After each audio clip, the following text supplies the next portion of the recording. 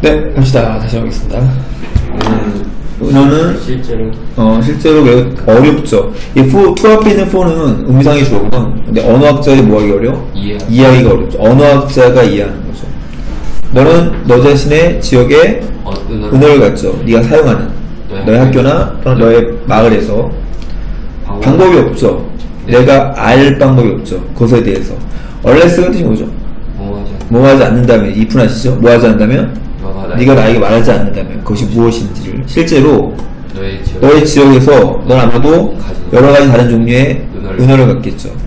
근데 은어인데 어떤 은어? 아이들 아이들이 사용하는 초등학교. 초등학교 사용하는 은어는 비라이크 못할 가능성이 있죠. 뭐 할 가능성이 있어? 다를 다를 가능성이 있죠. 뭐랑 다를 가능성이 있어? 중학교 중학교에 사용되는 것과 다른 가능성이 있는 거죠. 만약 너의 타운이 여러 가지 학교가 있으면 대열하는 있다고 얘가 주어지. 이제 다- 종종 차이가 차이가 있죠. 종류에서 슬랭의 종류에서 차이가 있죠. 이때 허드는 앞에 있는 걸 꾸며주는 표현이고요. 들려지는 슬랭이죠. 각각의 학교에서. 심지어 말들이 있지, 글들이 있지, 어떤 말들. 사용되어진 말들이 있죠. 다르게. 어디서도, 하나. 하나의 학교에서도.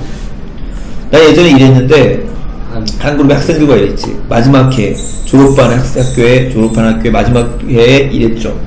근데 그 사람들이 어떻게 애들이 어떤 애냐면, 얘가 who가, who가 학교를 꾸며주는 게 아니라 앞에 있는 student를 꾸며주는 거지. 근데 그 학생들이 들어 들었는데, 슬랭에 대해서 들었죠? 어떤 슬랭? 사용되어진 슬랭이죠. 그들의 학교에서 학교에서. 그들은 알았죠. 뭘 알았냐면, 그 슬랭, 어떤 슬랭? 1학년 1학년 학생이 사용되는 그 슬랭이 매우 다르다. 다르다는 걸 알았죠. 뭐랑? 그들 자신하고.